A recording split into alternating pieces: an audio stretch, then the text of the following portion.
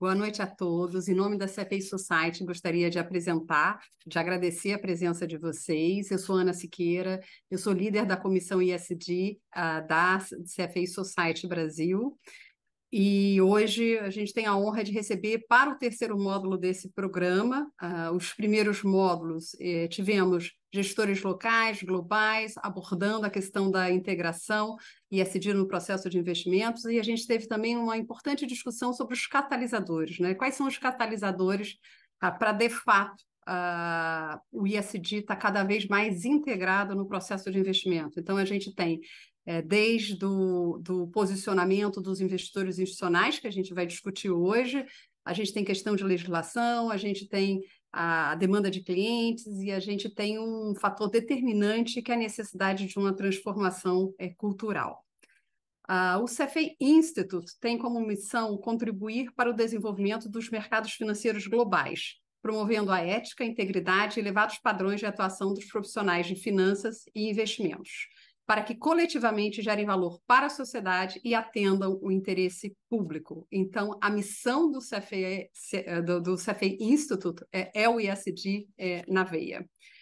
O, o, Instituto foi fundado em 1963, tendo um longo histórico de protagonismo em tratar de temas que atendam às necessidades atuais e futuras de, da comunidade de profissionais de finanças de investimento, buscando sempre beneficiar a sociedade e visando para contribuir com, é, com esses temas é, relevantes para o futuro, o CFI Institute passou a oferecer em 2021 uma certificação ISD Investing bastante interessante que é, não precisa ser um certificado CFA, um CFA Short Holder para fazer essa certificação. E no sentido de, de ter é, como missão disseminar conhecimento, em 2021 a CFA Society Brasil criou a comissão de é, a comissão ISD, do qual eu tenho a honra de liderar. E para disseminar conhecimento, a gente elaborou, é, publicou no final de 2022 é, esse livro aqui, Novas Fronteiras de Risco e Retorno. Uh, a gente trabalhou ao longo de dois anos Uh, guia prático para integração ISD nos investimentos. Somos 21 autores, é, cinco organizadores, é, Giba, eu somos coautores, organizadores. A ideia do livro foi trazida pelo Giba, que vai ser o nosso moderador da noite, que eu já vou passar a palavra para ele. E a partir da ideia que a gente viu que de fato existia uma lacuna de conhecimento aqui no Brasil, a gente, a partir da ideia do Giba, a gente olhou todo o conhecimento que o CFI Instituto tinha e fizemos uma tradução para a questão local, trazendo os especialistas e os coautores que, que trabalharam nesse livro. Então, ficou bastante importante. E quando a gente viu o livro pronto, a gente falou assim: puxa, é muito bacana, como é que a gente dissemina mais? E aí tivemos a ideia de fazer esse programa desses três módulos que a gente está encerrando é, aqui hoje. Bom, agora eu vou passar para o, o Giba uh, e vou primeiro fazer uma introdução uh, sobre o Giba. Então, uh, o Gilberto de Oliveira Filho, conhecido como Giba, ele é sócio da Vox Capital, tem mais de 12 anos de experiência em investimentos de impacto e venture capital, Giba é uma das referências é, na área, gerindo fundos com mais de um bilhão de real, um bilhão de real de patrimônio e participando de diversas transações de investimentos em mais de 60 empresas de tecnologia no Brasil, focadas em temáticas socioambientais. Uh, Giba, passo a palavra para você. Teremos é, convidados incríveis hoje, é, gestores, e a Jeane, é, também trazendo uma visão da integração ISD na estratégia de negócio. Vou fechar minha câmera e o espetáculo aí é de vocês. Uma ótima discussão, vou estar aqui. Obrigado, Ana. Você esqueceu de, de, de falar minha credencial mais importante, que eu sou voluntário da CFA Society aqui no Brasil. É um prazer estar aqui, é um privilégio estar aqui moderando duas pessoas que foram muito gentis em doar seu tempo também para a comunidade de investimentos aqui e ajudar a gente a mostrar a importância dos conceitos que a gente organizou nesse livro na prática. Né? Então, eu estou aqui hoje com a Gianni Tsutsui, que é CEO do Grupo Fleury. É, é uma das empresas que lidera hoje uh, a temática de integração ESG no Brasil, assim, uma empresa líder no mercado de capitais brasileiro e referência global no que faz. E o Carlos Takahashi, o Kaká, que é chairman da BlackRock no Brasil, também é vice-presidente da Ambima, então ele tem um duplo chapéu hoje aqui conosco, ele está é, no coração da autorregulação do mercado de capitais brasileiro, está avançando essa agenda lá. A Ambima teve muita inovação recente na agenda de sustentabilidade, ele vai dividir um pouquinho com a gente também. Né? E o BlackRock hoje é uma das principais gestoras de ativos do mundo, né? com um volume colossal de ativos sob gestão e com uma influência muito grande sobre o que, que importa ou não nessa agenda. Uh, a gente vai contar também com a participação do Jaime Gornstein. O Jaime ele é diretor de Stewardship e Governança Corporativa da EOS Federate Hermes. Ele é brasileiro, mas trabalha na Hermes, né, no, no, no escritório global da Hermes, e a Hermes é uma referência na prática de stewardship e engajamentos. Então, a gente vai abrir hoje o nosso debate, a gente vai começar aquecendo esse debate com uma fala inicial do Jaime, que não pôde estar aqui conosco, mas ele está um pouco na frente no fuso horário, seria um horário um pouco impróprio para ele, mas ele fez a gentileza de gravar uma fala aqui para a gente. A gente vai começar com isso. E daí, na sequência, a gente entra no debate entre os nossos convidados. De partida, agradeço você, Jane, agradeço você também, Kaká, pela gentileza de doar seu tempo e espero que seja proveitoso para todo mundo que está aqui conosco. Muito obrigado à CFA Society pelo convite para participar desse evento e compartilhar algumas ideias, talvez fazer algumas provocações para estimular o debate sobre stewardship. Esse é um tema tão importante na, na indústria de investimentos. Mas antes de começar, acho que seria interessante é, olhar para a definição de stewardship. Não há uma definição que seja aceita em todos os mercados, não há nenhuma tradução do stewardship adequada em português, mas vale a pena é, olhar com atenção para a definição que o FRC, o Financial Reporting Council, o órgão regulador aqui do Reino Unido, dá para stewardship. Então, segundo o Financial Reporting Council, stewardship é, é a alocação, gerenciamento e supervisão do capital para criar valor no longo prazo para clientes e beneficiários, levando a benefícios sustentáveis para a economia, o, o meio ambiente e a sociedade em geral. Então tem três partes bem, bem importantes. Né? Então, primeiro, a alocação do capital, com o objetivo de gerar valor no longo prazo para clientes e beneficiários, e ao fazer isso, levando à geração de benefícios sustentáveis para a sociedade em geral. É, o stewardship tem três pilares, de três pilares principais. Primeiro, o monitoramento das empresas investidas.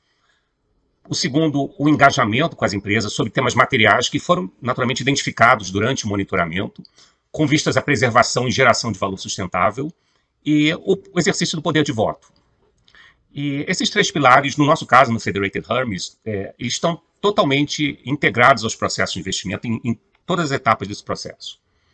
Em linha com o Código Brasileiro de Stewardship e códigos de outros mercados do, é, do qual nós somos signatários, nós elaboramos um plano de stewardship. É um plano que contém os temas prioritários, sobre em que áreas que nós vamos nos engajar com, com as empresas da carteira, com quais empresas vamos nos engajar e que objetivos queremos atingir para cada uma dessas empresas. E, e, naturalmente, qual é a política de voto que, que dá sustentação e que é, traduz é, as prioridades e os objetivos em termos de voto nas assembleias. Algumas métricas para ilustrar a nossa atuação nessa área. Em 2022, nós nos engajamos proativamente com cerca de 300 empresas globalmente, ah, na maior, maior parte dos casos a nível de conselho de administração e diretoria executiva, e com outras 800, 800 empresas de forma reativa. Por que, que eu faço a distinção? As cerca de 300 empresas com as quais nos engajamos proativamente são empresas com quem nós temos um relacionamento muito próximo, um diálogo frequente e, e, objetivos que nós queremos atingir em cada uma delas, seja, por exemplo, aumentar a diversidade do conselho, reduzir a pegada de carbono ou uh, implementar uma avaliação do impacto sobre direitos humanos. São todos objetivos mensuráveis e, e que pautam o nosso diálogo com essas empresas e cerca de 800 outras empresas durante 2022 nós nos engajamos reativamente. Quer dizer, são empresas nas quais havia algum tipo de controvérsia na Assembleia, algum tipo de proposta que, que precisou, gerou um diálogo é, do Federated Hermes com, com, a empresa, ou alguma controvérsia na qual a empresa teve, é, teve envolvida, algum, talvez um, um escândalo de, de corrupção, um, um, acidente muito grave, que também, é, de forma reativa, nós nos engajamos com a empresa e, e, é, e buscamos o diálogo de forma a entender o que está acontecendo e pressionar por, por que lições foram aprendidas e como é, evitar novas controvérsias. É, nos nossos engajamentos, é, não são é, conversas gerais sobre desempenho trimestral da empresa, eles vão, vão além disso. Eles são focados em objetivos mensuráveis e que sejam materiais e individualizados para cada empresa. É, então, em 2022, como ilustração, nós, nós cobrimos nos nossos vários engajamentos uh, cerca de 1.300 objetivos que nortearam esses engajamentos. E desses 1.300 objetivos, são objetivos que, que pela própria natureza, é, levam, talvez tipicamente, dois ou três anos para serem atingidos. São mudanças que, que é, geralmente empresas não implementam em, em questão de, de meses. É, geralmente são mudanças que se medem em dois ou três anos. E também em 2022, 200 desses 1.300 objetivos nós consideramos atingidos. Foram é, o que nós nos propomos atingir no nosso diálogo com a empresa foi atingido em 2022 para 200 desses objetivos. Os nossos temas prioritários de engajamento, eles estão publicados no nosso plano trienal e todo ano esse plano trienal é revisado. Então, alguns dos temas que, que uh, são prioritários nesse triênio são um, a efetividade dos conselhos de administração, e, e, por efetividade eu quero dizer que vai bem além do, do, das métricas que normalmente as empresas reportam, de, de número de conselheiros, diversidade de gênero, é, comitês. Nós vamos muito além disso, buscamos entender a fundo como é que é a dinâmica entre os conselheiros, como o conselho faz a alocação do, do seu tempo, qual o relacionamento entre o conselho e a diretoria executiva, e a diversidade no sentido amplo, quer dizer, diversidade onde é material, diversidade de, de uh, faixa etária, diversidade étnica, diversidade de personalidades, de nacionalidades. Então, para cada empresa, nós buscamos qual é a dimensão ou dimensões da diversidade que são mais relevantes. É, outra área prioritária é mudança climática, incluindo a ação é, contra a mudança climática, buscando com as empresas a redução da sua pegada de carbono, mas também é, uma adaptação para a mudança climática, qual é a estratégia da empresa é, é, num cenário de, de, transição energética e também num cenário onde há pressão, é, riscos de mercado, riscos regulatórios e risco físico que afete a operação da empresa, como escassez de água ou, ou eventos climáticos extremos. Ah, gestão de capital humano, cultura, cultura corporativa, remuneração de executivos, biodiversidade e gestão de risco são também temas prioritários nos nossos engajamentos. Com relação a, ao voto, o, nós é, votamos em todas as assembleias, sem exceção, e em 2022, nós orient demos orientação de voto para os nossos clientes em quase 14 mil assembleias, globalmente. E o poder de voto, como eu mencionei, ele reforça o engajamento. Então, por exemplo, é, nós podemos recomendar o voto contra a reeleição de conselheiros devido a problemas de governança, ambientais ou sociais, por entender que esses conselheiros não, é, não performaram adequadamente. Em 2022, nós recomendamos o voto contra a reeleição de conselheiros em 292 empresas globalmente, especificamente por conta de, do gerenciamento que nós já entendemos inadequado de riscos de mudança climática. Em 2021, é, foram 141 empresas, então você percebe que nós estamos é, sendo mais rigorosos com relação a, a, ao desempenho de conselheiros na supervisão de riscos de mudança climática. O poder de voto também é uma ferramenta é, muito importante é, que nós usamos quando os objetivos de engajamento através do diálogo não são atingidos ou, ou o progresso é muito lento. Por exemplo, indicando candidatos para o conselho, para reforçar a atuação do conselho em determinada área, reforçar a independência ou trazer alguma habilidade que nós entendemos que esteja faltando, que poderia ajudar a, a, a, progredir o nosso objetivo de engajamento, ou então apresentando proposta de resolução em assembleia, que é algo que nós não fizemos ainda no Brasil, mas já fizemos em vários outros mercados, é, sejam propostas, por exemplo, que recentemente fizemos na Coreia do Sul para é, relativa a pagamento de dividendos, ou propostas em que fizemos em várias empresas europeias pressionando por um plano claro de, de transição energética. Uma pergunta que, que, é, que, é, muito relevante, que muitos fazem na, na, na, indústria de investimentos, é qual o valor do stewardship. O stewardship é, é, é meramente um custo, é um acessório, é algo que, que, tem que ser feito porque os clientes exigem, porque os reguladores exigem, ou existe valor? Do, do stewardship? É uma pergunta difícil, não há unanimidade é, na indústria. Nós, no Federated Hermes, acreditamos é, que, que o stewardship ele é, ele é, faz parte da essência da, da atividade de investimento, não é um acessório. Agora, a mensuração de valor, é, de geração de valor, é, é algo que está muito incipiente. Então, há vários estudos acadêmicos que exploram aspectos pontuais, é, tentando achar alguma correlação ou causalidade entre engajamento, empresas que foram objetivo de engajamento com mitigação de risco de downside, por, por exemplo, é, especificamente em termos de engajamento em governança ou ambiental e que impacto que isso tem em, em proteger a empresa de ou mitigar um risco de um, de um downside. Mas são conclusões pontuais, que, mas eu acredito que, é, como o stewardship vem sendo cada vez mais implementado pe pelas, pela indústria de investimentos, e, e o stewardship cada vez mais focado em resultados, existe, por exemplo, uma pressão do, do regulador aqui no Reino Unido para que as empresas reportem resultados dos seus engajamentos. Então, à medida que isso progredia, eu acredito que no futuro próximo nós vamos ter uma massa de dados é, grande o suficiente para permitir que se, que se atinjam conclusões mais robustas sobre o valor do stewardship. E, por fim, a título de sugestão para aqueles uh, colegas que estão, talvez, no início da jornada, ou, ou, ou é, uma jornada incipiente de implantação de, de stewardship nas suas, nas suas uh, casas, que, que, busquem realmente é, uma implantação gradual, mas que seja genuinamente integrada com os processos de investimento. Não algo que você pense é, após o investimento ter sido feito ou, ou, como um acessório, mas que seja genuinamente integrado. Aí é que se dá o valor do stewardship e uh, que é reconhecido, é, onde isso acontece, na minha experiência, mais que isso é reconhecido por toda, é, por gestores de carteira, por gestores de risco, por compliance, é, vem realmente o valor de, de uma atividade de tipo estruturada no formato que eu mencionei para vocês. Um, e um último comentário é que, é que o, o stewardship, nós falamos muito aqui de voto, então naturalmente ligado à equity, mas o stewardship ele está focado na empresa, é, é, o cuidado do gestor com relação às empresas nos quais nós investimos. Mas não, não está ligado apenas ao instrumento financeiro equity. Então, debenturistas, investor, investidores em infraestrutura, em private equity, mercado imobiliário, têm toda a legitimidade e eu diria até obrigação de exercer atividade de stewardship nas suas respectivas indústrias. Então, eu queria agradecer a atenção de vocês. Espero que esse, esse vídeo curto seja útil para provocar um debate, gerar reflexões e espero no, no futuro próximo poder participar de um evento ao vivo com vocês. Muito obrigado. Ótimo. Muito legal os conceitos que o Jaime traz, eles ajudam a, a, enquadrar o, o, território que a gente está navegando aqui nesse nosso terceiro módulo, né? Então, queria resgatar aqui a, a definição de, de stewardship na visão trazida pelo Jaime de uma alocação responsável do capital para gerar benefício de longo prazo e benefícios, né, para gerar valor de longo prazo e benefícios sociais aí, benefícios para a sociedade como um todo. Eu queria começar o debate aqui com a Giane.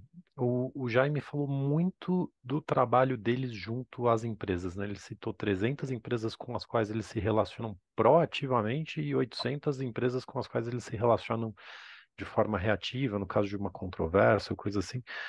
O Fleury, ele, ele hoje é, como eu comentei, no começo do webinar, um dos expoentes da agenda de integração ESG no Brasil, já fez emissões sustentáveis, tem um posicionamento público muito forte e faz parte de um conjunto de empresas que lidera essa temática. Como é que foi essa jornada para vocês? Sempre foi assim? Isso é uma coisa desde o início da empresa ou foi um, foi um despertar? Minha primeira pergunta é a agenda influenciou de alguma forma a base de capital de vocês? Então, o perfil de investidor que vocês atraem no Fleury é diferente do que o que você observa nos seus pares?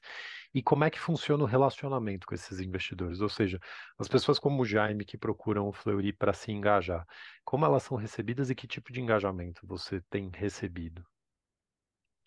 Perfeito. Obrigada, Giba, pelo convite. Obrigada, Ana. É um prazer estar aqui com o Kaká também, que é um profundo conhecedor do mercado e também do tema, né? E, e, e parabéns pela iniciativa. Espero que a gente possa contribuir nessa reflexão que é tão importante, né? De, de práticas ESG e talvez aqui trazendo uma visão de quem está no dia a dia aqui como, como CEO de uma empresa que já tem 97 anos e como você falou, né, Giba?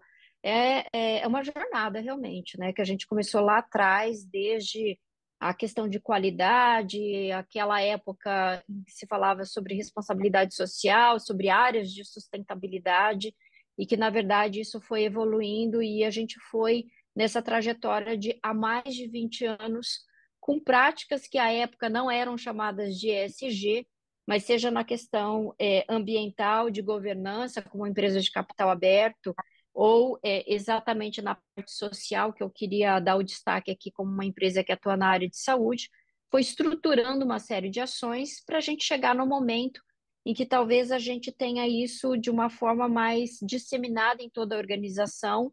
É, isso realmente faz parte da nossa estratégia. Então, a gente montou em 21 o Comitê ESG, que o, o coordenador é o, o presidente do conselho, e a gente tem toda uma questão de, de métricas que eu acho que é tão importante para as empresas, é, e ao longo do tempo, é, essa questão de incorporação, principalmente do S, do social, no nosso modelo de negócio. Quer dizer, não são apenas práticas, mas na nossa visão, como que isso é incorporado no modelo de negócio, isso traz resultados em todos os aspectos, seja o aspecto reputacional, seja o aspecto de redução de risco, como foi falado, seja o aspecto de possibilidade de emissão de debenture, que a gente fez em 21, primeiro, é, área de, primeira emissão na área de saúde ligado a aspectos de, é, de redução de resíduos biológicos, que tem mais a ver com a nossa área, mas também de inclusão social, de acesso à saúde, e, e ao longo do tempo a gente tem aí, é, felizmente, é, é, também conseguido um posicionamento de, de Dow Jones Sustainability Index e outros indicadores aí que mostram que a gente está numa jornada, claro que ainda com muitas com muitos aspectos para a gente desenvolver. É, a gente tem uma matriz onde a gente olha é, os aspectos, né, dentro da nossa estratégia, os aspectos é, ambientais, principalmente na nossa área. Claro que tem toda a preocupação com a, com a, com a questão de, de, de é, redução de emissão de carbonos, mas na área de saúde e na medicina diagnóstica tem um aspecto muito importante de re, re, geração de resíduos biológicos. Então, desde lá de trás, a gente vinha com a questão de, por exemplo, utilizar é, reduzir filmes de radiologia e agora mais recentemente a redução de resíduos biológicos que tem um impacto muito grande é, no nosso negócio. E, por fim, é, talvez trazer aqui o aspecto de governança, que ele é muito forte, é, claro, como uma empresa de capital aberto. Então, indo aí para a tua questão de como que a gente tem isso no dia a dia, eu, eu acho que a gente precisa começar a mostrar cada vez mais indicadores, e eu sei que isso é muito heterogêneo no mercado, quer dizer, claro que todo mundo acompanha o desempenho financeiro da organização e olha para o longo prazo, né, do, do, do, do, dos indicadores aí de retorno, mas talvez a gente tenha que é, trazer mais para a prática o que, que a gente tem, por exemplo, de é, inserção na remuneração variável de toda de todos os administradores as métricas ESG é, que precisam ser compartilhadas, inclusive com toda a organização. É, a gente também tem, ao longo do tempo, é, publicado dos nossos relatórios é, a, re, a, re, a re, real redução né, de energia, redução de é, resíduos biológicos, como eu mencionei, é, as métricas de aumento é, a, a, de acesso às classes é, C, D e E, que faz parte do, dos indicadores é, é, de, de debentures, mas a gente tem também é, métricas internas que são métricas compartilhadas por toda a organização, tá?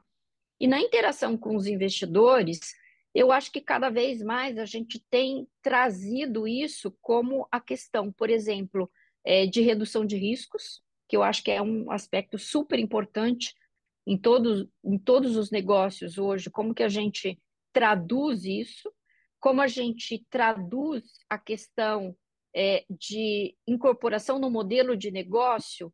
É, por exemplo, hoje o Fleury tem um posicionamento que antes era mais voltado para o público premium e cada vez mais a gente tem oportunidade de aumentar a market share e crescer como modelo de negócio sustentável nos segmentos intermediários e mesmo básicos, é, é, e fazer uma expansão geográfica. Então, esses aspectos de impacto social, de saúde, de aumentar o acesso por telemedicina, por ampliação de expansão geográfica, acaba se traduzindo ao longo do tempo no resultado de ganho de market share de crescimento. Né? Então, a gente faz esse link de uma maneira clara e conversa com o, a nossa base de, de acionistas com relação a esses aspectos. É, e um outro aspecto que vem sendo cada, cada vez mais é, colocado é o aspecto regulatório, quer dizer, como é que você, com essa prática de transparência, com essa prática de uma série de políticas que nós temos, isso se traduz numa matriz de risco e, obviamente, é, isso se traduz na questão reputacional, que é tão importante, né? Por exemplo, a questão de diversidade.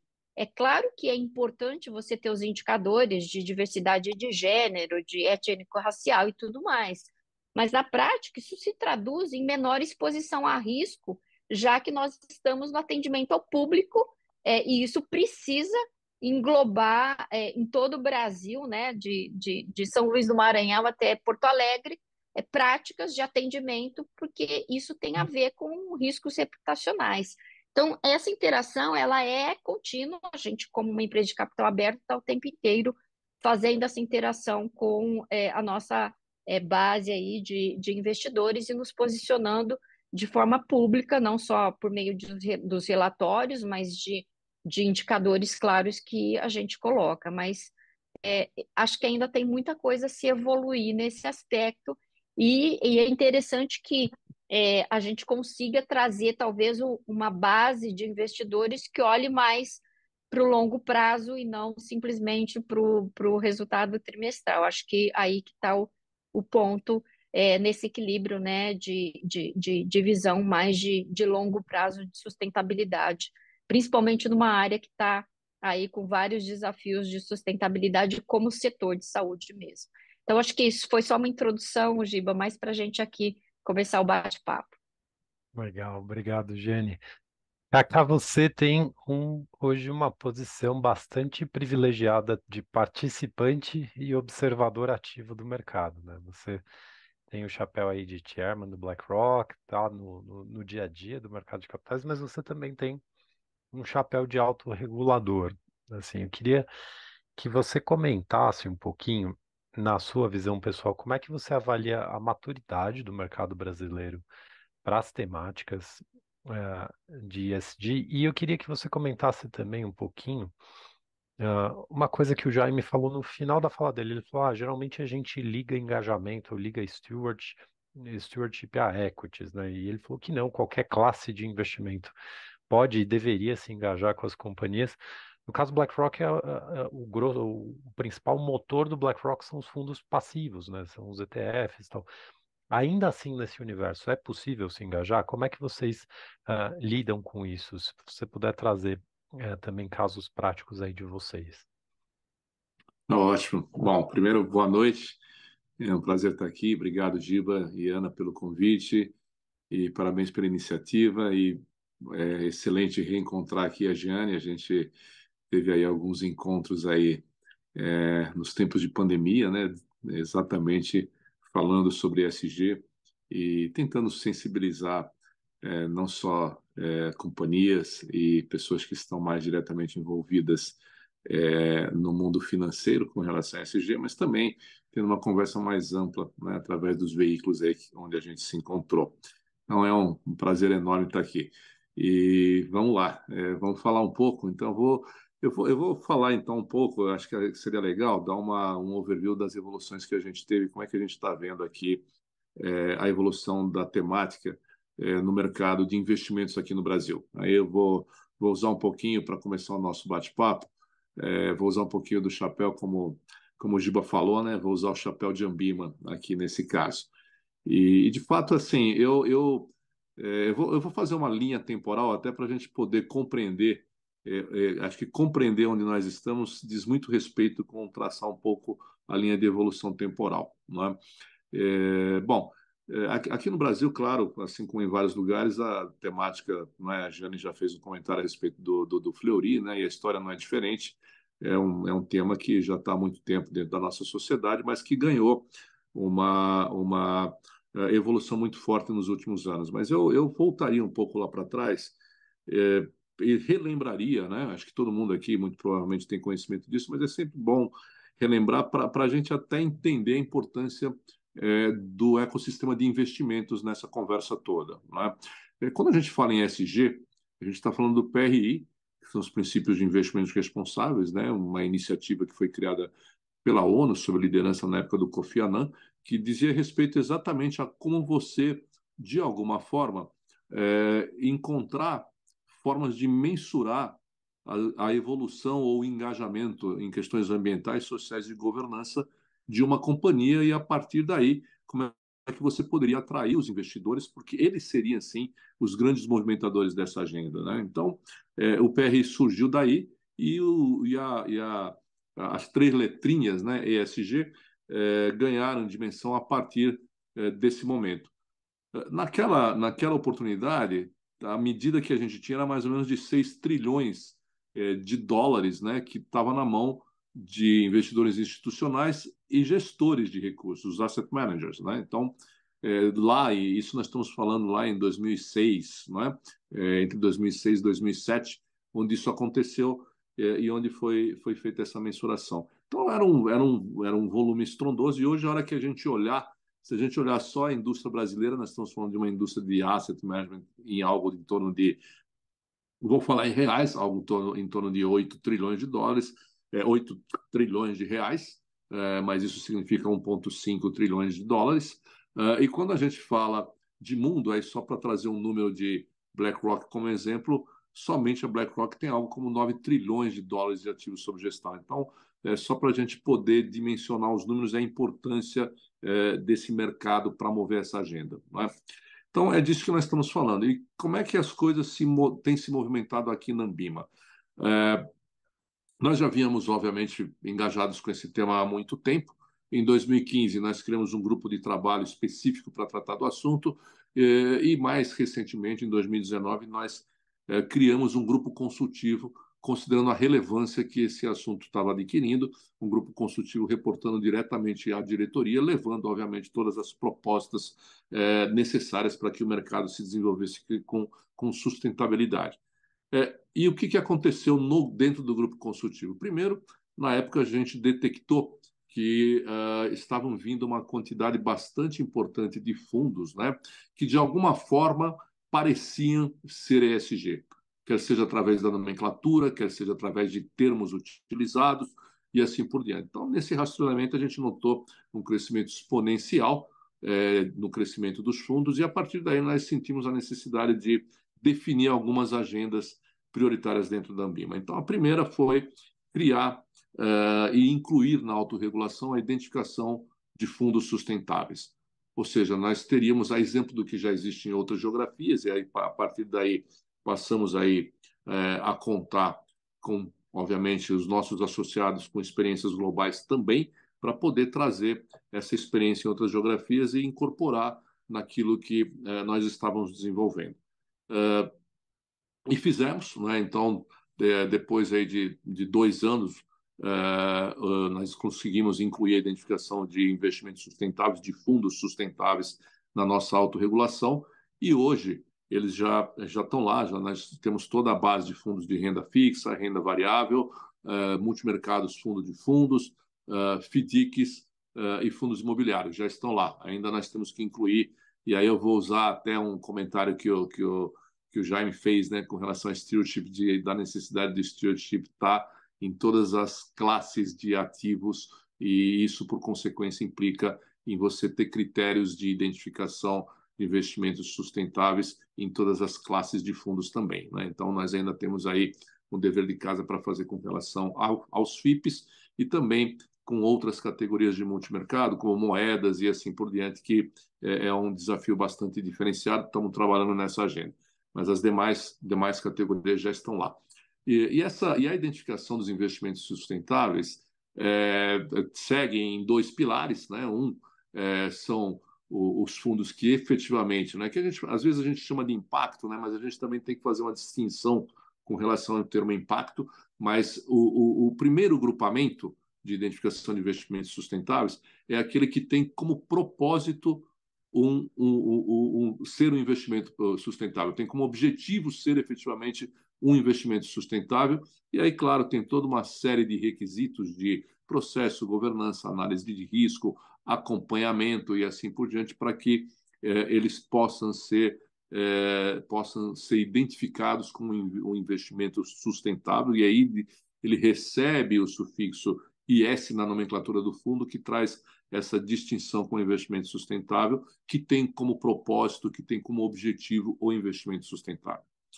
O outro, o outro, a outra, a, outra forma que nós encontramos também para incentivar, é, obviamente, os gestores a trabalharem o seu portfólio é com relação aos fundos que integram os fatores ESG. Então, eles, na verdade, mesmo não tendo um objetivo de investimento sustentável, ele integra esses fatores nos seus processos, ou seja, processos de gestão, gestão de riscos, eh, escolha de ativos e etc., considera os fatores ESG e eles estão integrados no processo. Então, foi dessa forma que nós criamos esse primeiro é, arcabouço, digamos assim, é, de identificação de investimentos sustentáveis, muito inspirado, não é um copy-cola, bom aqui comentar isso, mas muito inspirado é, no que tem sido feito tanto em Europa como em UK. Nós usamos como referência essas duas, essas duas geografias. É? É, tivemos, claro, é, uma solicitação bastante grande de identificação desses fundos, mas ainda, considerando o total da indústria, ainda é, a gente tem a clara leitura de que há muito a ser feito e a gente gostaria de ver muitos, muitos fundos mais buscando essa identificação é, junto a nós. Um ponto importante é que nesse ínterim, né, isso tudo aconteceu, então, como eu falei, é, nesse período aí vindo de 2019 é, até aqui 2022, mas nesse ínterim também, muitos de vocês possivelmente acompanharam, é, com a edição da nova é, regulamentação de fundos de investimento pela CVM, né, a, a CVM 175, que está aí, é, é muito, muitas questões relacionadas à vigência dessa norma passam a vigorar a partir agora de outubro, inclusive, né, uma data importante de calendário, tem mais outro tanto vindo no abril, em abril do ano que vem. Mas com relação a ESG em especial, também o assunto foi incluído de forma explícita, né? É, e aí ela traz lá os critérios para que um fundo seja é, possa ser um fundo é, de investimento sustentável e aí muito em linha também com o que nós colocamos na nossa autorregulação e também muitos de vocês conhecem essa questão. Nós temos um convênio junto à CVM, onde nós ajudamos a CVM através da autorregulação no processo de supervisão da indústria. Né? Uh, então, é muito, muito relevante a gente sempre estar tá em linha com aquilo que o regulador está fazendo, uma vez que nós estamos no, estamos no campo da autorregulação. Além disso, nós uh, já editamos dois guias de melhores práticas na, na, na, questão da, relativa à gestão de recursos de terceiros, né? ou seja, na ponta do buy side. Então, já, já editamos dois guias dessa natureza. O segundo guia trazendo toda toda essa questão da identificação dos investimentos sustentáveis. Fizemos também é, duas pesquisas para ter o retrato da indústria, né? Uh, e a última pesquisa foi feita em 2022 e agora já está na hora de fazer uma nova pesquisa. Então, um rápido spoiler aqui: em brevemente a gente vai ter novidades com relação a isso, uh, tanto com relação a uma nova pesquisa, mas também com relação à governança do ISD dentro da própria associação. Né? A gente fala sobre isso também no decorrer do nosso bate-papo. E aí, conversando um pouco já com o que o Giba eh, falou a respeito eh, não só de equities, né, mas vamos falar da emissão de crédito privado, de debêntures e assim por diante, nós também editamos um guia eh, de melhores práticas na ponta do sell side. Não é? Então, está ali já considerando, esse guia considera as diversas opções que a gente tem é, de emissão de títulos, né? Eu não vou falar em títulos verdes, porque, obviamente, nós estamos falando de títulos ISD, né? E então, tanto é, falando sobre é, debêntures emitidas com, com uma, um propósito específico, né? É, quer seja ambiental, quer seja uma destinação específica de recursos, quer seja os, é, Sustainable Linked Bonds, né, que são uh, uh, emissões que têm um escopo mais amplo, uh, e que têm sido muito utilizados pelo mercado. Então, da mesma forma, nós fizemos a edição desse guia para auxiliar aí os emissores, e dentro desse guia a gente traz diversas questões relacionadas à, à, à emissão, como provedor de segunda emissão, relatório anual de acompanhamento, via de regra, são, são títulos que têm prazos médios ou longos, né? então esse acompanhamento também é muito relevante, e também questões relacionadas à emissão, como é, auditoria, é, como é, toda a parte de transparência, descrição da emissão e assim por diante. Né? Não vou entrar aqui no detalhe, mas ele traz aí uma, um framework bastante robusto também e muito alinhado com as práticas internacionais. Tanto é que a própria ICMA reconheceu esse guia como um guia perfeitamente em linha com aquilo que tem se praticado aí é, no ambiente de países que estão um passinho na frente da gente. Então, tudo isso para falar um pouco da indústria, talvez eu tenha me alongado um pouco, mas é, eu vou agora falar um pouquinho de como é que a gente está enxergando o atual cenário no Brasil. Né? Então, é, de fato, a gente tem que considerar que a gente está tendo um avanço, uma conversa muito intensa no pós-pandemia. Então, de fato, a gente vem numa velocidade muito grande em 2019, 2020, 2021, e sem dúvida nenhuma, é, muitas, muitas gestoras, né? E elas continuam, claro, mas muitas gestoras implementando e incorporando a questão do ESG nos, nas suas práticas de gestão. Uh, mas, é, a bem da verdade, esse cenário de inflação mais elevada, a gente também experimenta aqui no Brasil o mesmo fenômeno que a gente viu lá fora.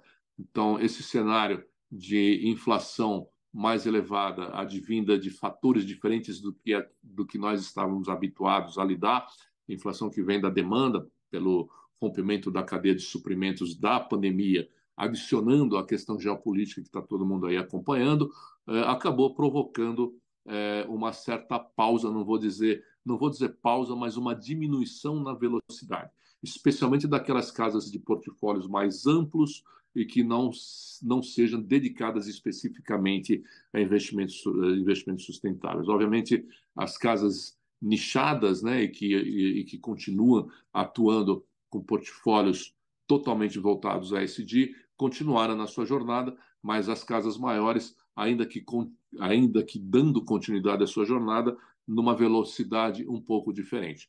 O que me parece agora, sinais mais recentes na minha visão, é, que a gente vem percebendo.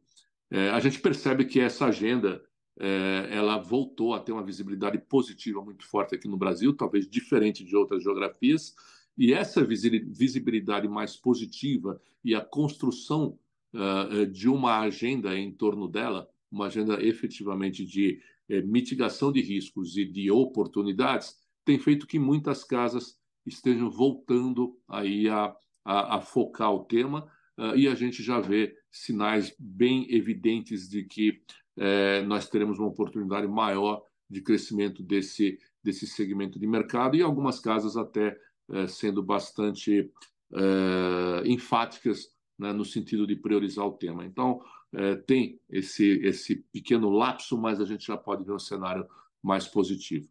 Como eu me alonguei muito nessa primeira fase, Giba, eu vou falar rápido de BlackRock, né? Então, como você comentou, a BlackRock tem um portfólio bastante extenso, né? bastante reconhecido e grande de gestão passiva, apesar de nós termos aí uma relevância muito grande também é, na parte de gestão ativa. Né? E hoje como nós estamos focando muito em transição uh, energética, nós também uh, temos visto nosso no, nosso portfólio de private equity, uh, enfim, investimentos ilíquidos, né, mas sobretudo private equity, incluindo também venture capital, crescendo substancialmente no nosso portfólio em outras geografias.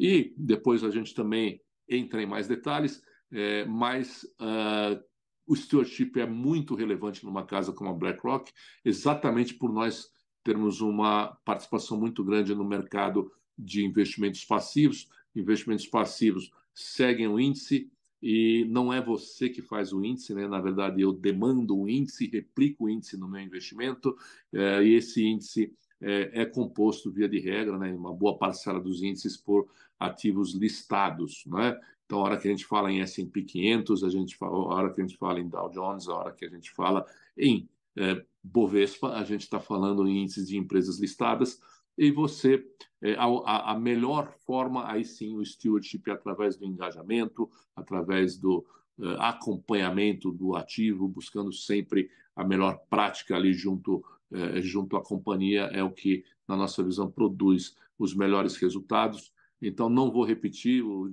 o Jaime foi bem. Uh, bem amplo e bem profundo naquilo que ele falou na abertura, eh, e a gente segue padrões muito semelhantes ao que ele colocou. Depois a gente pode falar de algumas particularidades de BlackRock nesse sentido. Eh, e aí sim, é, o, que, o que nós falamos, a gente não faz, a gente não fala o que a empresa deve fazer. O que a gente faz é o que nós gostaríamos, e aí nós vamos acompanhar aquilo que ela se propõe a fazer de que forma ela está fazendo. Né? Então, é, de uma, em linhas gerais, é dessa forma que a gente atua é, no stewardship. E aí, na parte de gestão ativa, obviamente, a gente segue as diretrizes que vêm lá da stewardship, mas, obviamente, os gestores também têm independência na medida em que fazem gestão ativa para, obviamente, fazer a seleção dos seus ativos, incluindo é, outras métricas, outros critérios. Então, de uma forma resumida, para já não ocupar tanto tempo como eu já ocupei, fica aí essas primeiras considerações.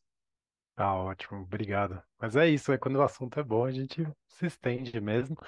Ah, Jane, eu queria aproveitar que o Kaká mencionou que a gente está amadurecendo como mercado, né? Então, claramente nos últimos três anos a gente vem vendo um, um, maior importância dessa temática, né?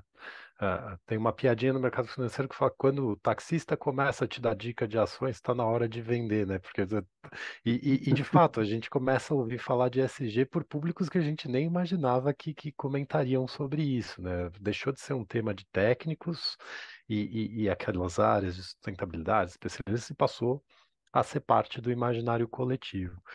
Eu queria saber se esse amadurecimento se refletiu de alguma forma no seu dia a dia como CEO, né? Você está lá nos calls de resultado, assim, mudou o tipo de pergunta que você recebe, mudou o tipo de cobrança que você tem junto ao teu conselho, ou junto à tua base de investidores, ou, ou não, ou por enquanto ainda não chegou, porque muito do que você falou que o Fleury fez vem de uma motivação intrínseca do Fleury, né? Não me pareceu ser uma ação em resposta ao mercado, mas você já está vendo mudança do mercado?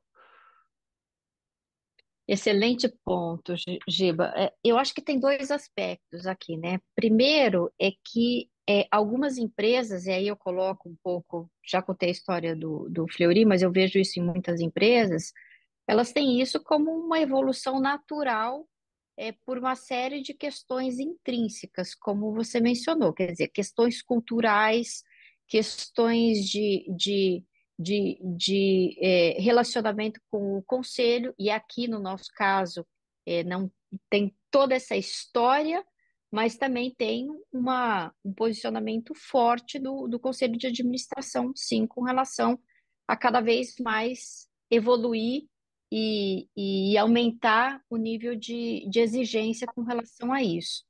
Mas eu não vejo tanto com relação aos investidores, tá? Então, eu acho que cada vez mais a nossa evolução, ela vem de uma questão intrínseca, histórica e relacionamento com o conselho de posicionamento. É, mais recentemente, acho que o, o, o Kaká colocou toda essa história, né, de como os, os diferentes é, grupos aí estão vendo essa temática é, puxada por alguns é, e, e, e, outros ainda não tocam no assunto. É engraçado porque, de uma certa forma, a gente procura colocar isso uh, para os investidores, até como um diferencial, mas você precisa fazer o link com relação a, aquilo que isso significa. Então, é, acho que tem um processo de evolução que está acontecendo. Com mais frequência, eu recebo essa pergun essas perguntas relacionadas ao posicionamento, é, talvez com públicos diferentes, né? Então, por exemplo, eu, eu vejo ali é, alguns locais ou alguns tipos de investidores que fazem perguntas proativamente sobre isso, é, não são todos, é, e é, outros que, ao, ao longo do tempo, a gente vê um interesse maior no acompanhamento das ações, né?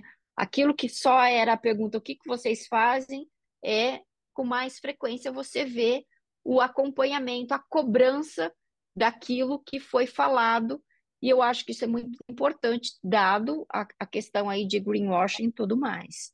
Então, é, eu acho que está tendo, ao longo do tempo, uma mudança pela percepção do que isso traz de impacto no negócio de longo prazo.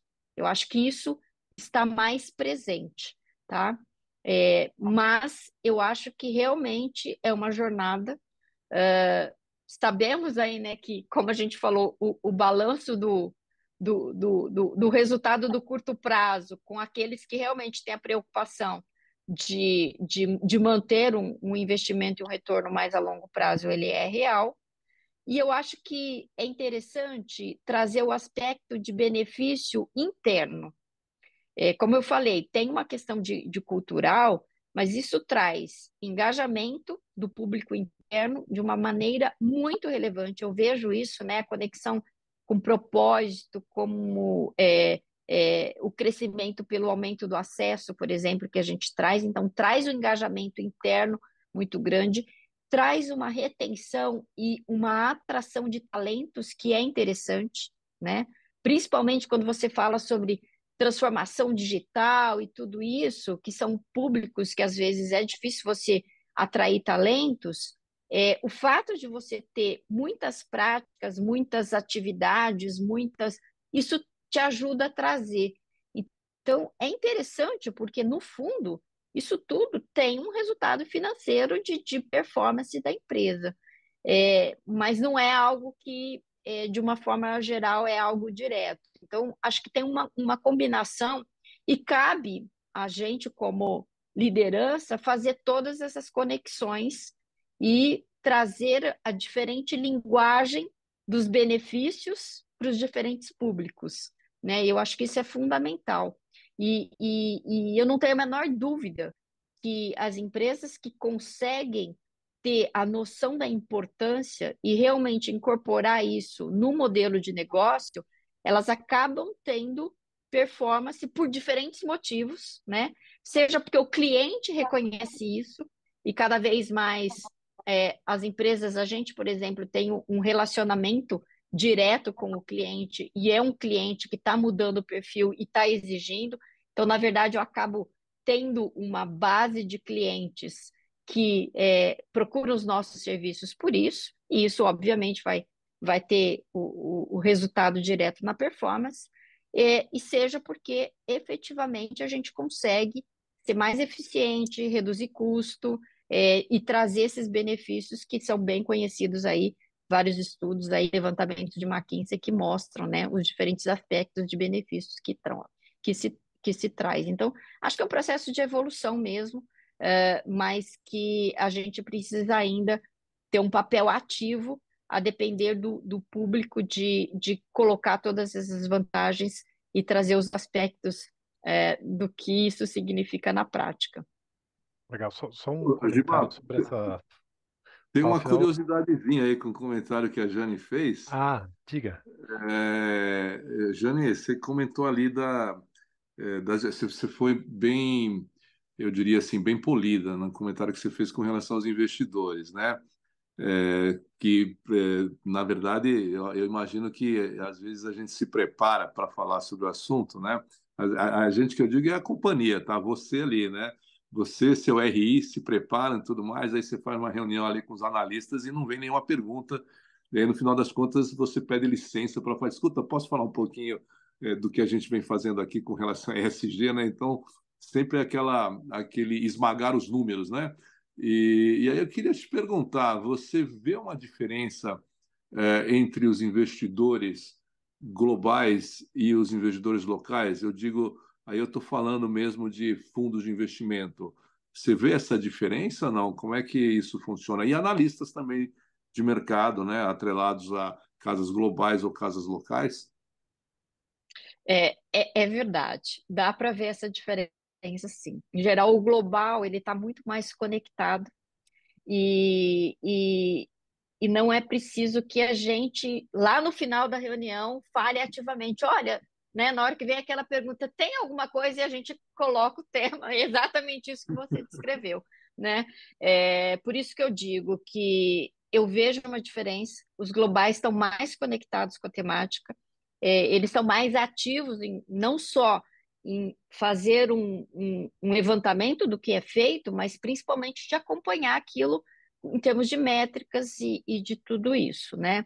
É, então, eu vejo uma, primeiro que houve uma mudança e segundo que os globais tendem a dar mais importância uh, de ativamente fazer o, o, questionamento do que os locais, tá, Cacá? Legal, legal. Vou fazer só um, um, último comentário com relação à sua fala. Viu? Eu gostei muito quando você falou aí da questão de sempre estar buscando iniciativas internas dentro da companhia para você ter o engajamento do, do funcionário, né, do colaborador. É, eu achei muito legal porque eu vi no, nesse ano uma pesquisa da Edelman, né, é, que trata de confiança. É uma pesquisa super bacana, super interessante e o que é, e o comentário, né, da CEO lá da Edelman aqui do Brasil, ela falou o seguinte: eu acho impressionante, Cacá, porque é, o item que, de, que fala sobre confiança, onde o, quem é a pessoa que mais confia na companhia é o funcionário, não é? Então, ao você trazer o funcionário para essa, essa, esse engajamento que você falou, é, realmente dá uma força muito grande para a empresa, porque na verdade você está aí sim você está promovendo uma grande mudança cultural. Né? Isso é o que, de fato, no longo prazo, vai sustentar efetivamente da perenidade a sustentabilidade a ESG dentro da empresa. Né? Então, super bacana esse comentário que você fez. É curioso porque um dos temas prioritários de engajamento que o Jaime comentou é justamente cultura corporativa, né? Uh, então, às vezes, às vezes, às vezes a gente vê, e é muito claro para quem está inserido no mercado, as empresas que fazem para o investidor ver, né? Então, ah, eu tenho uma política aqui, ou eu tenho uma ação pontual que está desconectada com a minha estratégia, e aquelas empresas que têm isso intrinsecamente, parte da estratégia. O colaborador percebe, né? Então, se a sua cultura, se a sua prática corporativa está muito distante do seu discurso corporativo, essa distância é difícil de sustentar no longo prazo, né? Deixa eu voltar para o Kaká aqui. Kaká, vocês têm hoje a família iShares, né? O BOVA11 é o, o, o ETF que acompanha o Bovespa. E, e é muito legal a página do fundo porque você vê quanto disposição a setores mais uh, controversos um índice desse tem, quanto disposição a infratores de pacto global. Então, o tema do monitoramento está muito presente ali, mesmo sendo um fundo passivo, é o que você falou. Não, não foi o BlackRock que inventou o índice Ibovespa, mas vocês têm um, um né, é um instrumento essencial para a gestão você fazer uh, o tracking desse tipo de coisa. Como é que nesse mundo da gestão passiva vocês se engajam, né? Porque claramente vocês monitoram o que vocês estão fazendo, claramente vocês são chamados a votar porque é um fundo que hoje tem mais de 10 bilhões de patrimônio, né? Então vocês devem ter posições relevantes em algumas companhias. Uh, o, o, que que, o que que é o engajamento na ótica desse tipo de carteira? Não, legal. É, de fato, é, é uma das principais, se não a principal atividade da BlackRock, de fato, são os fundos passivos, né, como você comentou, é, são conhecidos como ETF, né, que são os Exchange Traded Funds, né, que são, é, na verdade, é uma, numa tradução muito simples, são fundos é, listados em bolsas de valores, né, então, ou aqui ou lá fora, são listados na bolsa e aí sempre houve uma crença também na BlackRock que esse produto provê muita muita transparência, provê muita eficiência, provê baixo custo, e assim por diante. E esse, esses fatores que realmente levaram a BlackRock a, a focar bastante esse, esse mercado. Né? Uh, uh, e aí, é, como, é exatamente como você falou, nós não, nós não criamos os índices, né? Então, tem lá um S&P 500, tem lá um índice Bovespa, e aí nós replicamos esses índices, e, e aí é, nós colocamos esse investimento à disposição de quem está tá, tá querendo investir dessa maneira. Uh, qual é, qual é o desafio e qual é a vantagem, né? Porque aí tem desafios e vantagens ali sobre a perspectiva nossa enquanto engajamento nas companhias.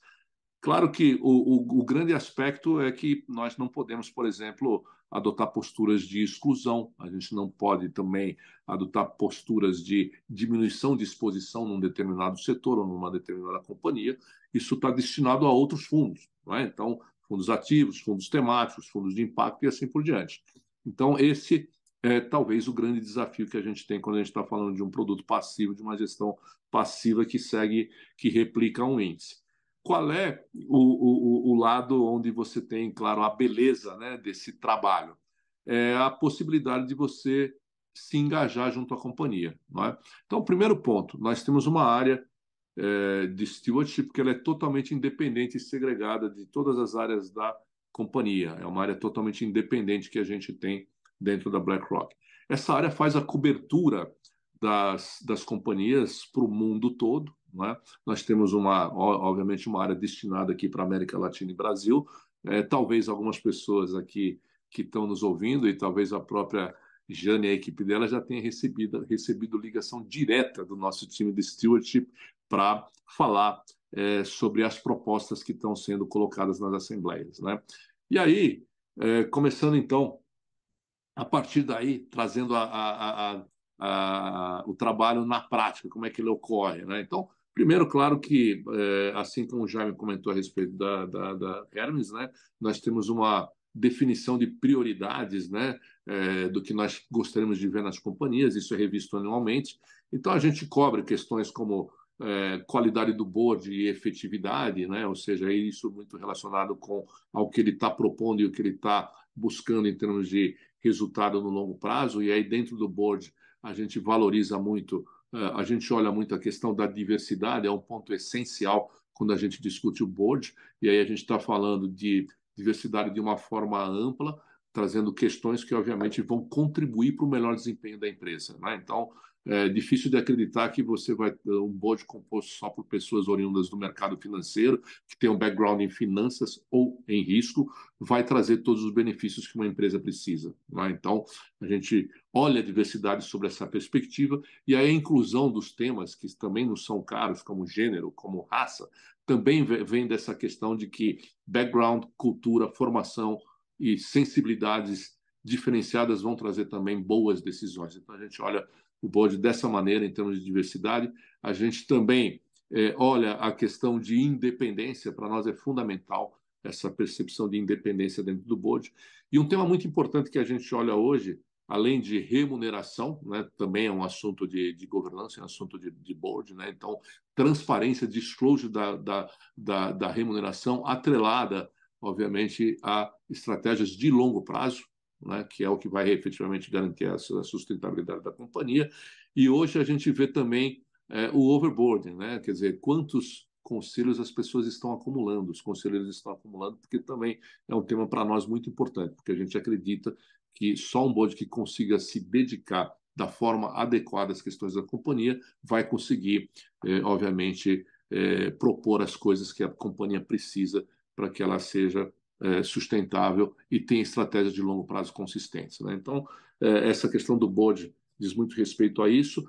Claro que aí conecta com um tema que para nós é super importante, que é estratégia de longo prazo, propósito e resiliência financeira no longo prazo. Né? Então, a gente também é, entende como pontos é, fundamentais. Já falei também incentivos alinhados com criação de valor no longo prazo. E quando a gente fala na questão é, de uso de recursos naturais e mudanças climáticas. Né? Então, hoje, a gente incorporou essa questão também é, muito mais dentro de uma perspectiva inf, é, informacional, de dar transparência, o que a empresa tem feito com relação a, ao uso de recursos naturais, né? além das questões relacionadas à transição energética, as questões relacionadas ao clima. E a gente quer ver também quais são as estratégias, estratégias e metas de médio, de curto, médio e longo prazo. É? Então, a gente quer ver dentro dessas três perspectivas, é o que o nosso time de stewardship faz. Uh, e sempre metas uh, baseadas em ciência. Não é? Então, uh, não, nós não queremos saber de metas empíricas nem nada, efetivamente são metas claras e baseadas na ciência.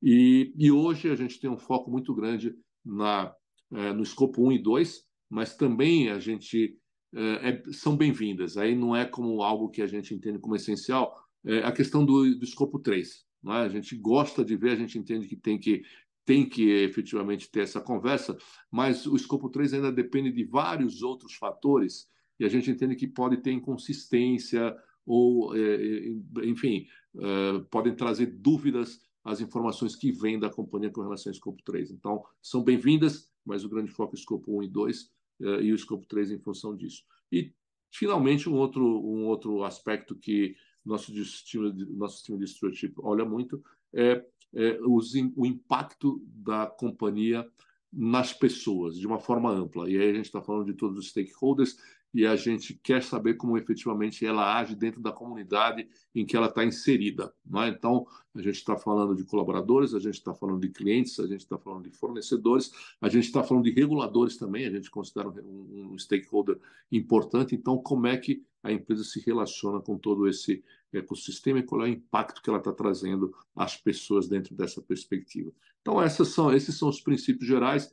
Esses princípios são discutidos anualmente, a BlackRock expõe isso às companhias investidas, e aí, claro, vem todo o processo de acompanhamento e engajamento e o processo de votação dentro, da, dentro de cada uma das propostas que as companhias investidas traz. Não é?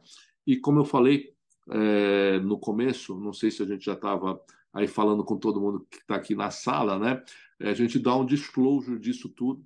Então, quem entrar lá no site da BlackRock na área de stewardship vai encontrar todas essas questões e também anualmente a gente publica é, um boletim com todos os votos que nós realizamos. Quer dizer, é, isso de forma ampla e também com a granularidade é, dos três pilares, E, S, G, e também a granularidade de cada um dos temas dentro desses pilares. Então, a, a gente entende que, dessa forma, engajando, conversando com a empresa, né, e é um diálogo mesmo, então, quem teve a experiência de, de ter alguém de stewardship ligando para a companhia, ele vai perguntar mesmo, ele vai estressar as perguntas, ele vai querer saber efetivamente o que a empresa tem feito, né? que a gente entende que tem que fazer um trabalho além da verificação dos relatórios e assim por diante, para você ter uma clareza nisso tudo. Ah, um ponto que eu acabei não falando, que você perguntou, via de regra, como a gente está através de índices, a nossa participação não é de acionista majoritário, mas a gente está lá. É, é, é, é, vai ser muito comum você ver a BlackRock dentro da, da, da dessa questão aí da, é, das estratégias passivas, é, 4, 5, 6% de participação em diversas empresas, obviamente, isso está muito relacionado à composição do índice. Ah, legal, Kaká. Só uma, uma dúvida de, de follow-up aqui. Você descreveu todo o processo de engajamento e. Uma curiosidade, em algum momento, algum desses objetivos não foi atingido e virou voto contrário em alguma companhia brasileira? Tem, é, isso de fato se manifesta nos boletins de voto? se manifesta, se manifesta nos boletins de votos, você vai ver é, vários against, né? vários votos contrários, é, tanto em empresas brasileiras, né? E inclusive com, com, às vezes até mesmo com recomendação. Né? A, BlackRock acredita muito na liderança e no poder do board, né? Então, é, muitos, muitas é, votações aí, dando um exemplo aqui, sem citar é, sem citar empresas, né, mas dando um exemplo de ação da BlackRock, a BlackRock chegou a, a, a não recomendar a continuidade de chairman já em boards, é, porque ao longo é, do tempo a empresa não estava conseguindo cumprir aquilo que se propôs a cumprir. Né? Então, é, aí no caso ela entendeu que é, o board tinha uma, uma, uma, uma responsabilidade muito grande e aí sim o chairman com relação a isso. Também é, é, boards que não não incluía não incluía não não incluíra né nos seus nas suas propostas é, diversidade né e aí relacionados ao background principalmente e a necessidade que a empresa teria é, de conhecimento também a BlackRock é, já fez recomendações contrárias e também propostas concretas né a BlackRock fez também votos contrários Assim como votos, claro, né, votos a favor, né, empresas brasileiras. A gente tem um caso muito recente é, de processo de disclosure de remuneração de executivos né, numa companhia brasileira que a BlackRock votou favoravelmente, é, porque realmente ela viu é, um nível né, é, de transparência bastante, bastante relevante naquilo que a empresa trouxe. Então, Uh, como falei, esses boletins podem ser encontrados lá no nosso site uh, e com toda a explicação da razão daquele voto, né? o que embasou aquele voto.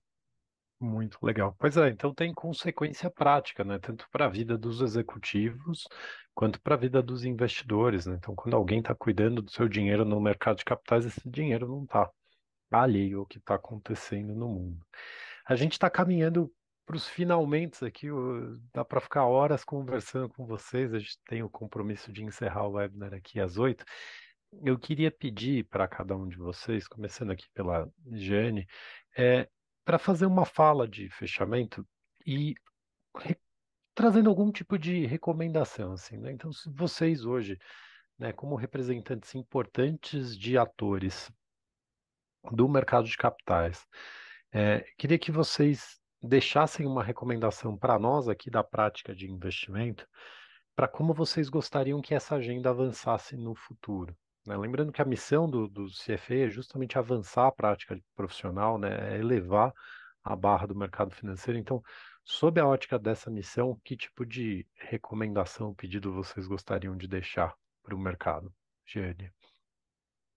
Bom, obrigada, Giba. Aí, primeiro, agradecer né, a oportunidade de a gente estar tá aqui discutindo isso. acho que esses espaços de reflexão, eles são muito importantes, esse espaço de, de troca de experiência e, principalmente, esse espaço para a gente reforçar a importância é, das práticas de uma maneira geral, é, não só aqui no Brasil, mas como no mundo. Então, acho que a gente traz aqui é, o agradecimento à CFA pelo, pela oportunidade de, de trazer esse tema com tanta abrangência, né? Não só no livro, como vocês publicaram, mas também, né? E parabéns, Giba, por ter liderado essa iniciativa, mas por esses espaços de discussão.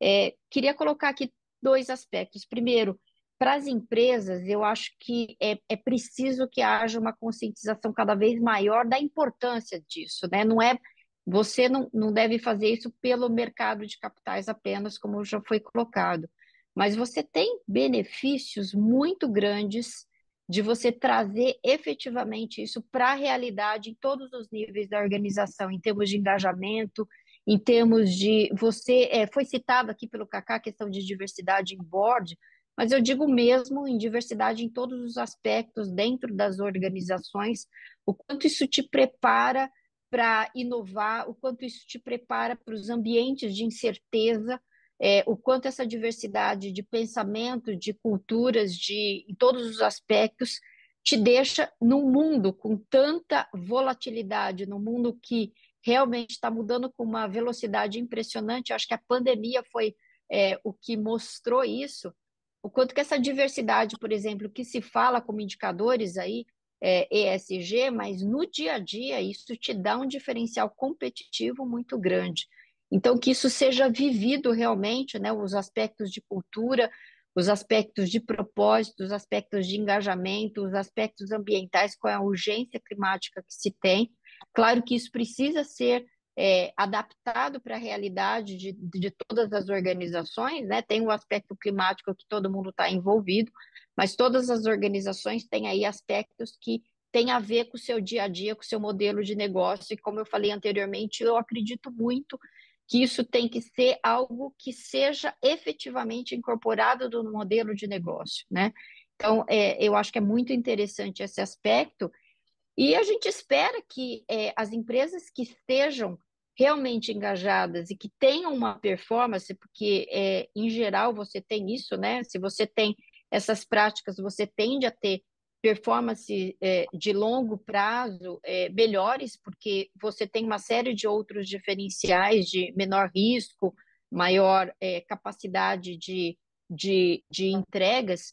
Eu acho que isso, cada vez mais, a gente espera que o mercado efetivamente valorize isso e passe a, como o Kaká colocou, né, incorporar isso na cobrança das empresas. Isso é só é, uma forma da gente, é, de forma conjunta, é, entregar mais retorno para a sociedade é, de uma maneira geral e, e, essa mudança da forma como os negócios são conduzidos com mais transparência, com mais é, é, é, é consciência do papel que nós como organizações temos em toda a sociedade. Claro que, sem dúvida nenhuma, o retorno financeiro é importante, mas acho que esse retorno para a sociedade ele é fundamental, só assim que a gente vai mudar a forma de fazer negócios e, e aumentar a nossa competitividade no Brasil e no mundo. Então, super obrigada pela oportunidade da gente falar um pouquinho, é, e, e, eu realmente me sinto extremamente é, honrada por estar nessa jornada e contribuindo um pouquinho né, com as nossas ações aqui no dia a dia, como a gente falou, com o impacto social que a gente acredita que a saúde tenha e, e esse S para a gente é, é, é muito importante e a gente realmente incorpora isso na nossa estratégia e acredita que com isso a gente vai conseguir fazer muita diferença na vida aí das pessoas da sociedade de uma maneira geral. Obrigado, Jane. Kaká. Não, legal. É, bom, primeiro, parabéns de novo pela iniciativa, muito papo excelente, né? Sempre muito bom e muito inspira, inspirador estar ouvindo a Jane, né? Com, com essa jornada incrível aí da, da Fleury. E eu vou até pegar esse gancho, né, de, de, de Fleury e falar algumas coisas. Ela falou de 97 anos, né? Então, é, nós temos o privilégio de estar vivendo para ver isso. É uma frase, estou refazendo uma frase de uma grande amiga, né? E, e mas tem muita coisa para ser feito aí, aí, pela frente, né? E eu, é, eu, eu sempre bato numa tecla. Eu acabei não falando um pouco sobre isso, mas eu acho essencial e aí acho que o CFA tem um papel fundamental é, e pode ajudar muito, como já vem ajudando, né? Então a própria iniciativa de publicação desse livro, né? E é, não li ainda, mas folhei as páginas desse livro, né? E vi pessoas incríveis que trouxeram contribuições com certeza incríveis na, na elaboração desse livro e com certeza é, vai ser é, uma referência no mercado. Uh, e aí tem uma abordagem que eu acho muito importante no livro, que é, é você é, tem que efetivamente fazer a leitura disso tudo que está acontecendo sob a perspectiva um de risco e quando a gente fala em risco a gente tem oportunidades vindo, não é? Então é, o mercado é, só consegue retorno quando consegue fazer é, um gerenciamento adequado de risco e retorno e é disso que nós estamos falando quando a gente fala é, em impactos dos resultados através das melhores práticas, é? Então é, nós não estamos desconectando essas coisas. Né? E essa abordagem é, é super importante. É, e aí, já que falamos no livro, já que falamos no CFA, educação. Né? a educação tem um papel fundamental, porque é, a cultura se forma através da educação, sim. Né? A cultura não vem do acaso, a educação tem um papel fundamental. E aí o CFA é, com toda a credibilidade que tem, né? E aí eu estou falando aqui de vocês, mas também é, todas as iniciativas ligadas à educação, pela credibilidade que, que ela tem, pela capacidade efetivamente de você mudar a cultura, tem um papel muito grande e eu acredito muito que é por aí que a gente vai fazer essa agenda mover com velocidade, mas sobretudo com consistência, porque também nós precisamos de consistência para que essa agenda seja efetivamente sustentável. E a educação ela tem um alcance social incrível, né? Então também é um outro aspecto que eh, eu gostaria de ressaltar aqui, não é? Porque quando a gente está falando em SG, quando a gente está falando em diversidade, a gente está falando em equidade, a gente está falando em inclusão. Não vamos esquecer nunca eh, que essas três letras andam muito juntas. E a educação também tem um papel fundamental quando a gente está falando em inclusão e equidade. Se a gente está pensando em efetivamente é, conseguir construir um planeta melhor, nós precisamos construir, antes de mais nada, uma sociedade melhor. Então, se eu puder deixar um pedido aqui, é, vamos continuar é, aí focados nesse papel tão nobre que é o da educação. Muito obrigado, Kaká. Muito obrigado, Jeane. É, só aproveitando o, o, o ensejo do Kaká, o livro que a gente comenta aqui ao longo do webinar está disponível para compra e 100% dos lucros desse livro são revertidos para o fundo de bolsas da certificação ESG da CFA Society Brasil. Né? Então, é um livro que foi criado como uma grande contribuição de diversos voluntários, é, justamente para avançar a educação é, no mercado de capitais aqui brasileiro. Então, a sua educação vai contribuir com a educação de alguém também. Eu vou passar a palavra aqui para Ana fazer o encerramento e queria agradecer pessoalmente, Cacá e Jane, pelo tempo que vocês dedicaram a gente aqui. Bom, muito obrigado, Cacá, Jeane, Gilberto, toda a audiência, ao Jaime, que em função da, da grande diferença de fundo, do fuso horário não pôde participar é, ao vivo, mas gravou uma mensagem incrível. Então, obrigada a todos, é, uma boa noite. A gente, da mesma forma que o Everton já colocou o link do módulo 1 e do módulo 2, esse módulo, em breve também o link é, para assistir vai estar disponível. Muito obrigada a todos. Foi incrível o painel. Parabéns a vocês. Até logo. Obrigado. Tchau, tchau.